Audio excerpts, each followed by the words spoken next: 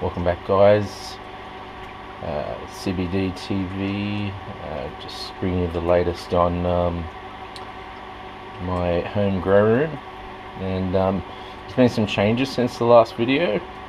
Um, obviously, the first is rearrangement of plants, and that's as a result of this ice plant. Uh, um, I discovered it had root rot, and that's why its growth's been stunted. But um, I managed to get on top of it. Um, so the biggest problem was is that the water reservoir was clear, uh, allowing light in, and even though I was changing the water once a week, and when I was using the blood and bone nutrients, it was every two days, but I was still developing root rot. So I got rid of the affected roots. I sprayed the uh, reservoir black on the outside so that no light can get in, and um, I've stopped using the blood and bone nutrients and now using Dutch Master Gold Range 1. Um, a lot of the plants are, were um, appeared to be showing signs of um, some nutrient lockout. Um, um, so calcium deficiencies, magnesium deficiencies, sulfur deficiencies.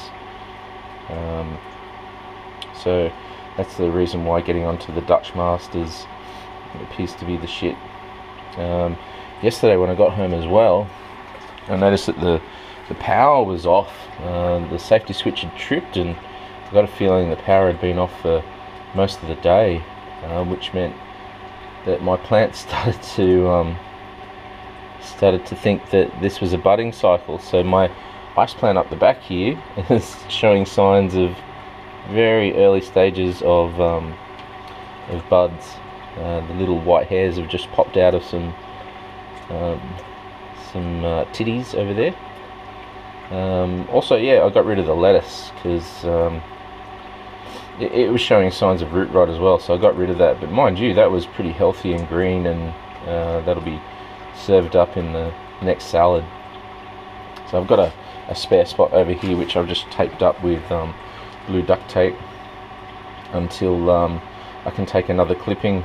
Uh, the plan was to, to um, clone the CBD. Um, yeah, just, she doesn't look too well at the moment. See the yellowing of the leaves.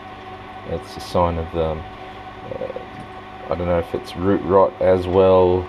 Um, it her roots look awesome though. They're white, white as, but um, yeah, she's coming along not too bad. Um, you can also view my grow on um, weedlog.com under gutted possum. Should be able to see some progress in there. The the ice um, clone is going really well now. The new growth is yellow, and all the posts that I've um, consulted seem to think that that's uh, that's pretty good. That's no problem for new growth so long as it's um, turning green, uh, which it is, um, you can see some of the earlier growth was getting some twisting, that's some uh, nutrient deficiencies, but with the Dutch Master 1 that should be all sorted out now. So I only put the Dutch Master 1 in last night at about uh, 8.30, around that time, so really hasn't had a lot of time to adjust.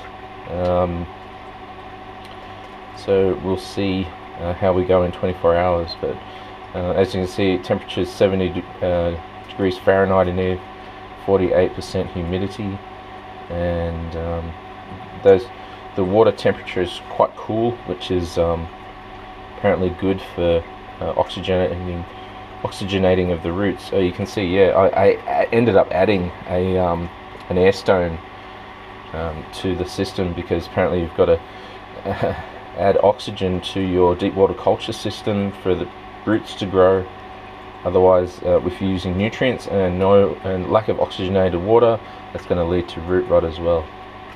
And of course, um, I've got the uh, 300 watt LED light, uh, which I had to lower just to allow more light penetration for the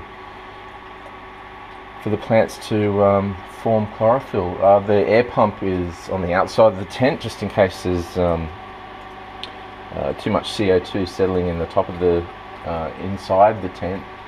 So um, the um, yeah, it's um, it's getting oxygen from outside of the tent. Yeah, so we're up to, geez, what it's like day 81 for the ice mother plant. Um, so I had to cut off.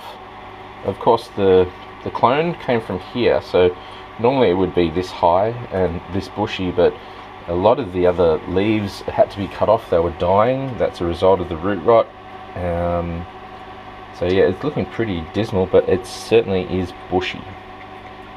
But um, yeah, that's about all I have. I really would have expected this puppy to be at um, time for bud, but we're a long way from that yet. I need to get it a lot more bushy. Probably got another four weeks. And this nutrient mix um, isn't going to last long either. Uh, luckily, I only have to change the water reservoir with this mix every once a week uh, rather than every two days. So I'll be lucky to get four or five weeks out of this bottle and I'll have to get some more.